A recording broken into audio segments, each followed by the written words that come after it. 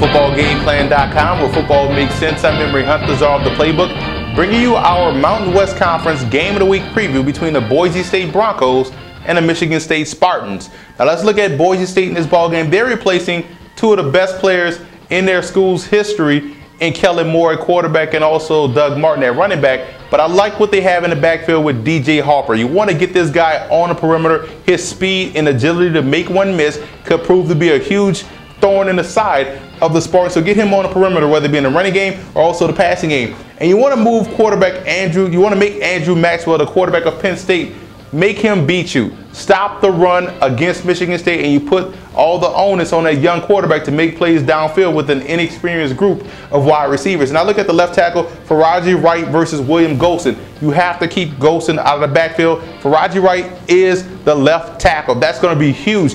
That's the matchup you have to watch if you're a Boise State Bronco fan. You have to make sure your left side is well protected against the outstanding pass rusher in Gholston. Now you look at Michigan State. Off tackle running might be the way to go. I think Boise is weaker on the defensive end as opposed to on the interior. So you might want to run off tackle and they could have some success. Le'Veon Bell is one of uh, just a master at running back, and this guy can do a great job in getting outside as well. Very underrated quickness. And you look at the talented, talented DBs of Michigan State. Very talented secondary. You look at guys like Johnny Adams, who's an All-American, and Darqueze Dennard, another talented corner, going against the wide receivers in Matt Miller and Mitch Burroughs. That's a great matchup if you love football, is passing game. You have outstanding DBs going against outstanding receivers.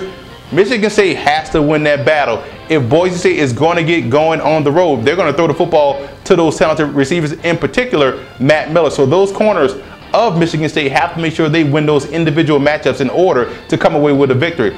Big game right here. You know Boise State is always primed for an upset. They're looking to make a statement, showing everybody that this team was bigger than the losses that happened last season. So I actually think Boise State is going to come in and play a sound game, but I think Michigan State wins this ball game. They're going to lean on Boise State defensively. Offensive line is going to lean on that defense, and that defensive line, which could be quite possibly one of the best in college football of Michigan State, is going to cause all kind of problems for Boise State's passing attack. So I think Michigan State wins a very sound ball game at home to open the 2012 season.